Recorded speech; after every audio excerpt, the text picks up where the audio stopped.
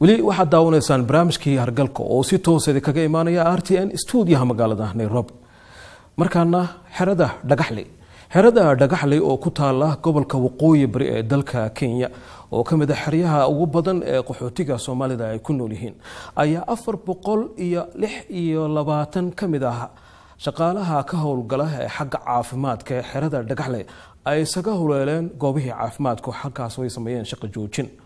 Waxyaabo badan ayay ka cabanayaan. Wariyaha iyaga ka soo hadla xeryaha qaxootiga bashiir gaxnuug ayaa barnaamijka hargal ka hargal wanaagsan ka waran xaaladda iyo sababta keentay inay iskaga tagaan shaqada ay joojiyaan. Shaqaalaha qaxootiga ah ee ka howlgala xeryaha dhadhaab ayaa mar walba cabasho ka muujiya inayna ku filnayn.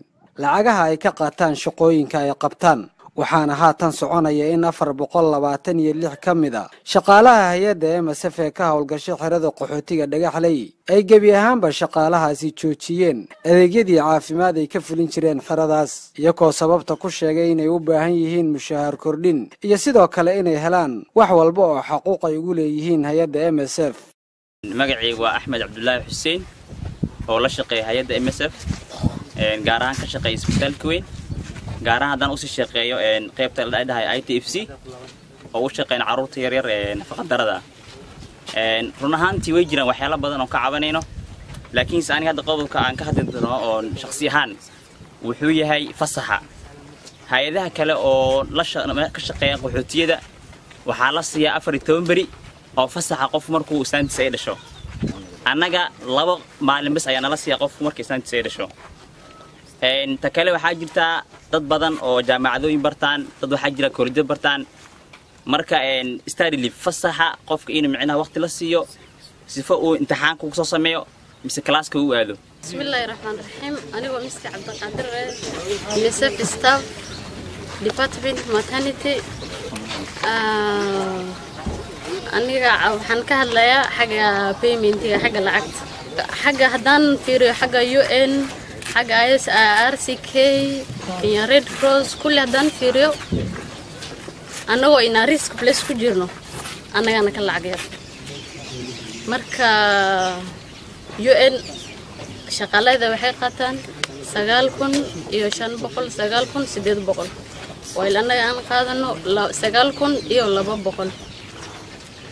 Annaga annagoo weli in risk place ku jirno iyagoo meel oo dhibaato aan ku jirin inariska aan ku jirin layn qabow ay ku jiraan only translation.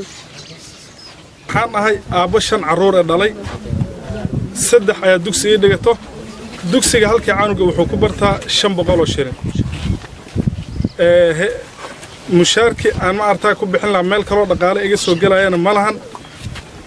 Mushaarka aan ku bixin lahaa cidda ilmihii caanahooda iyo meel walba aan ku bixin lahaana waa intaas aan tirsanahayo waxaa gebi ahaanba joogsaday adeegyadii caafimaad ee isbitaalka xerada qaxootiga dhagaxley taasoo saamaysay bulshada iyo bukaanada xeradaas. Arrintaas ayaan wax ka weydiinay guddoomiyaha guud ee xerada qaxootiga dhagaxley cabdulaahi cali aadan wuxuuna hadalkiisa u dhigay sida tan. Arrintan mudaharaadka shaqaalaha m s f waxay ku dhawaaqeen taariikh soddon bishii haddan soo dhaafnay ayagoo ka cabanaya dhowr qodob oo m s f ay horeyn ogala hadleen markay mudaharaadka ay joojiyaan warqad qoraalna ayna soo gaarsiin kadib waxaan la hadalnay m s f mudaharaadka markay bilaabeen. Kadib warqadihii qoraalkii ayna soo gaarsiiyeen. Waxaan la fadhiisanay m s f kuwa nairobi jooga ayaan la hadalnay.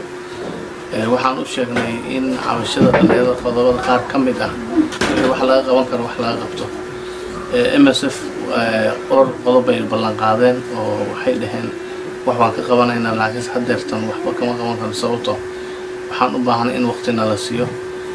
Waxaan u sheegnay tusaale ahaan arrinta oo mushaar kordhinta dhalinyarada turjubaaniinta ah. Haddii aan tusaale ahaan u soo qaato waxaa weeya kuwa m s f u shaqeeya waxay qaateen lix kun.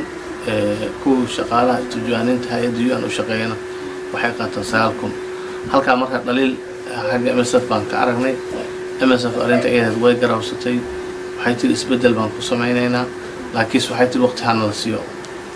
Waxaa kaloo jiray dhowr qodob oo dhallinyarada ay soo jeediyeen oo aan u aragnay in wax laga qaban karo. Laakiinse msf ay dhahday hadda waqti xaadirkan waxba kama qaban karno.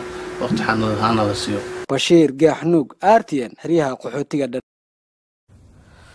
mahadsanid bashiir gaxnuug oo jooga xeryaha qaxootiga gaar ahaan xerada dhagaxley oo barnaamijka hargalka nagala qeyb qaadanay oo ku eegayey ilaa afar boqol iyo lix iyo labaatan ka mid ah shaqaalaha caafimaadka ee ka howlgala xerada dhagaxley oo shaqada isiga fadhiistay oo mudaharaad ay sameeyeen kadib markii cabasho ay ka sameeyeen xagga mushaaraadka. Mahadsanid bashiir gaxnuug